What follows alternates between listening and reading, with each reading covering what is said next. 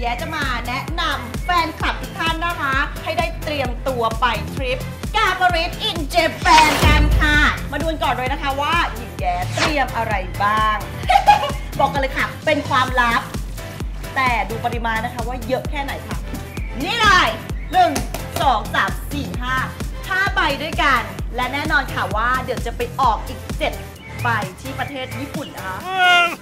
ต่อไปไปดูของ พี่ซีกันบ้างนะคะว่าพี่ซีเตรียมอะไรไปบ้าง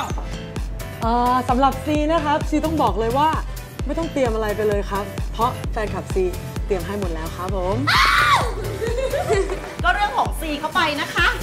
ต่อมาค่ะ ไปดูลูกชายคนเล็กนะคะว่าเตรียมอะไรมาบ้างเจโอของผมนะครับ พกไปแต่เสน่ห์ก็อยู่ได้ยาวแล้วครับ อะแล้วก็คุณแม่ของ เราเตรียมอะไรไปบ้างคะ ของคุณแม่เหรอคะอุ้ยไม่อยากจะบอกเลยขออุ๊บส์ไว้ก่อนได้ไหมไม่ได้เอาให้ดูก็ได้ อุปกรณ์ยังชีพของเจ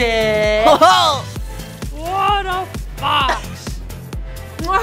ต่อไปจะเป็นการสาธิตวิธีการใช้ ตกปลา Are you ready?